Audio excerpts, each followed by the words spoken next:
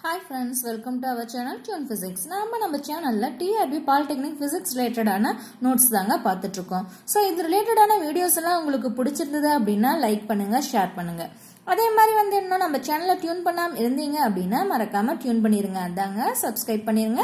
பக்கத்தில் இருக்கக்கூடிய பெல் ஐக்கானை கிளிக் பண்ணுங்க. ஸோ இன்னைக்கு நம்ம பார்க்க போறது என்ன அப்படின்னு பார்த்தோம்னா யூனிட் ஃபோர் எலக்ட்ரோ மேக்னெட்டிக் தியரியோட பார்ட் த்ரீ வீடியோ தாங்க பார்க்க போறோம். இந்த பார்ட் த்ரீ வீடியோல எதை பத்தி நம்ம பார்க்க போறோம் அப்படின்னு பார்த்தோம்னா ஈக்குவேஷன் ஆஃப் கண்டினியூட்டி இந்த டாபிக்கை பத்தி தான் நம்ம பார்க்க போறோம். வாங்க வீடியோக்குள்ள போலாம்.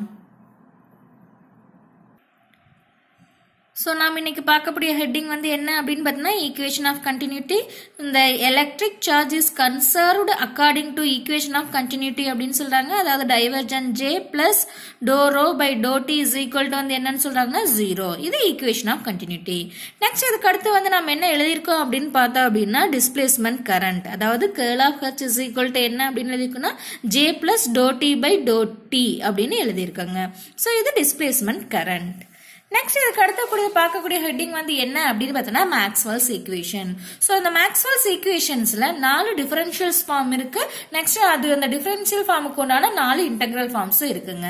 ஸோ நான் இதை வந்து எப்படி அப்படின்னு பார்த்தோம்னா ஒரு டேபிள் காலம் மாதிரி போட்டு டிஃபரன்ஷியேட் ஃபார்ம்ல வந்து எழுதியிருப்பேன். ஸோ அதை வந்து என்ன அப்படின்னு பார்த்தோம்னா நாலுக்கும் முன்னானதையுமே எழுதியிருப்பேன்.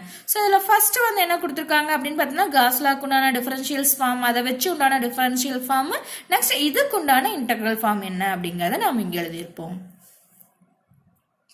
ஃபர்ஸ்ட் ஒன் வந்து காஸ்லாவோட எலக்ட்ரிக் ஃபீல்டு அதே வந்து செகண்ட் ஒன் வந்து என்ன அப்படின்னு பார்த்தோம்னா காஸ்லாவோட மேக்னெட்டிக் ஃபீல்டு அதுக்குண்டான டிஃபரன்ஷியல் ஃபார்ம் என்ன? நெக்ஸ்ட் இந்த டிஃபரன்ஷியல் ஃபார்முக்கு உண்டான இன்டெக்ரல் ஃபார்ம் என்ன அப்படிங்கறத எழுதியிருப்போம். ஸோ இந்த ஃபர்ஸ்ட் ரெண்டுலேயுமே வந்து என்னவா எது சேஞ்ச் ஆகும் கன்வெர்ட் ஆகும் அப்படின்னு பார்த்தோம்னா வேல்யூம் இன்டகிரல் வந்து என்னவா கன்வெர்ட் ஆகும் அப்படின்னு பார்த்தோம்னா சர்ஃபேஸ் இன்டெக்ரலா வந்து நம்மளுக்கு கன்வெர்ட் ஆகும்.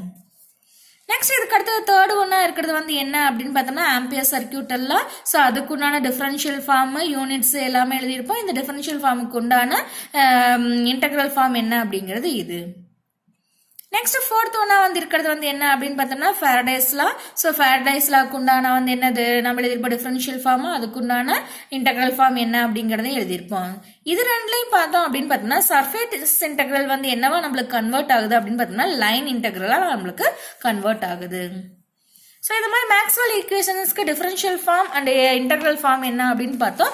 நெக்ஸ்ட் அதோட பர்டிகுலர் கேசஸ் பர்டிகுலர் கேசஸ் அப்படிங்கிறது வந்து என்ன அப்படின்னு பார்த்தோம்னா கண்டக்டிங் மீடியத்துக்கு வந்து எப்படி மேக்ஸ்வெல் ஈக்குவேஷன் ரெடியூஸ் ஆகுது.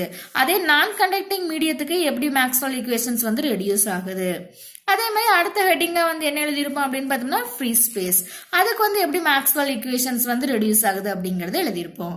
ஸோ இது வந்து என்ன அப்படின்னு பார்த்தோம்னா மேக்ஸ்வல்ஸ் ஈக்குவேஷன்ஸோட பர்டிகுலர் கேசஸ் அப்படிங்கிறதுங்க. நெக்ஸ்ட் இதுக்கு அடுத்த ஹெட்டிங்கா நம்ம என்ன எழுதியிருப்போம் அப்படின்னு பார்த்தோம்னா energy in magnetic field Poynting theorem அதுக்குண்டான டெஃபினிஷனும் அதோட டெரிவேஷன்ஸ் என்ன அப்படிங்கிறதையும் நம்ம எழுதியிருப்போம். நெக்ஸ்ட் அடுத்தது ஹெட்டிங்காக வந்து என்ன இருக்குது அப்படின்னு பார்த்தோம்னா பாயிண்டிங் வெக்டர் ஸோ பாயிண்டிங் வெக்டர்னா என்ன அப்படிங்கிறது எழுதியிருப்போம். Next Poynting vector S is equal to E cross ஹெச்சாக இருக்கும். நெக்ஸ்ட் இதோட யூனிட் என்ன? அதோட டைமென்ஷன்ஸ் என்ன அப்படிங்கிறது எழுதியிருப்போம். நெக்ஸ்ட் பாயிண்டிங்ஸ் வெக்டர் ரிலேட்டடான பாயிண்ட்ஸ் என்னென்ன அப்படிங்கிறதையும் கீழே அப்படியே நோட் டவுன் பண்ணியிருப்போம். ஒரு நாலு பாயிண்ட் எழுதியிருப்போம்.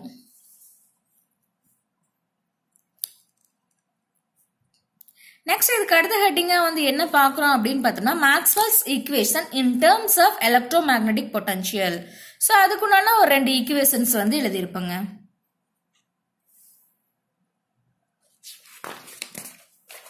நெக்ஸ்ட் இதுக்கு அடுத்த ஹெட்டிங்காக இருக்கிறது வந்து என்ன அப்படின்னு பார்த்தோம்னா நம்மளோட டாபிக் வைஸில் என்ன இருக்குன்னா கான்செப்ட் ஆஃப் கா காஜஸ் அப்படின்ட்டு இருக்கும். ஸோ அது என்ன அப்படிங்கிறத நம்ம எழுதியிருப்போம். நெக்ஸ்ட் இதுக்கு அடுத்ததாக வந்து என்ன எழுதியிருக்கோம் அப்படின்னு பார்த்தோம்னா லாரன்ஸ் காஜ் லாரன்ஸ் காஜ்னா என்ன? அதோட டெரிவேஷன்ஸ் ஃபார்ம்ஸ் என்ன? அப்படிங்கறதெல்லாம் நம்ம எழுதியிருப்போம். நெக்ஸ்ட் அதோட அப்ளிகேஷன்ஸ் ஸோ அது அப்படி அப்ளிகேஷன்ஸ் அப்படின்னு பார்த்தோம்னா ஒரு மூணு அப்ளிகேஷன்ஸ் வந்து எழுதியிருப்பாங்க. ஸோ இதோட வந்து என்ன அப்படின்னு பார்த்தோம்னா எலக்ட்ரோ மேக்னெட்டிக் தியரியோட பார்ட் த்ரீ வீடியோஸ் வந்து கம்ப்ளீட் ஆயாச்சு. நெக்ஸ்ட் இன்னொரு வீடியோவில் பார்க்கலாம். தேங்க்யூ